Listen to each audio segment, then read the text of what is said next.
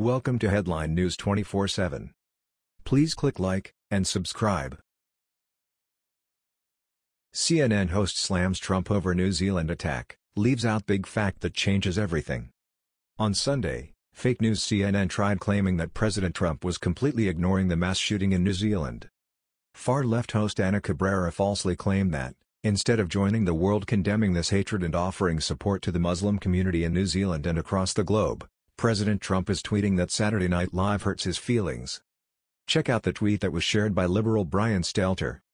Instead of joining the world condemning this hatred and offering support to the Muslim community in New Zealand and across the globe, President Trump is tweeting that Saturday Night Live hurts his feelings.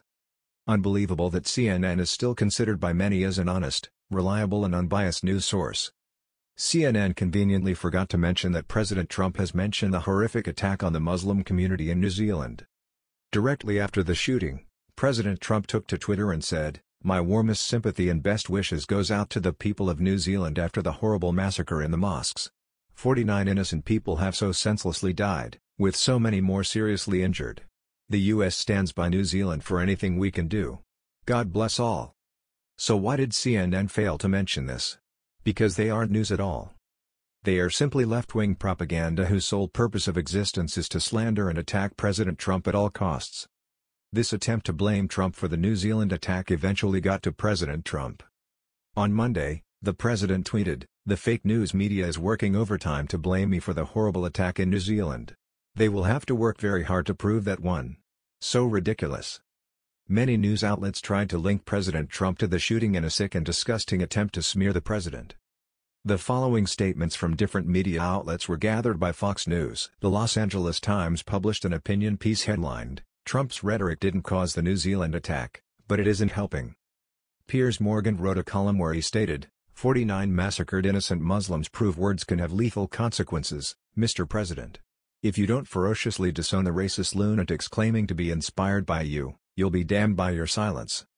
Reporter Nikki Battiste on CBS This Morning cited that the Killer's manifesto stated Trump is a symbol for white identity, while Morning Joe commentator Donny Deutsch mentioned that he didn't think President Trump would issue a strong enough statement because Muslims were involved.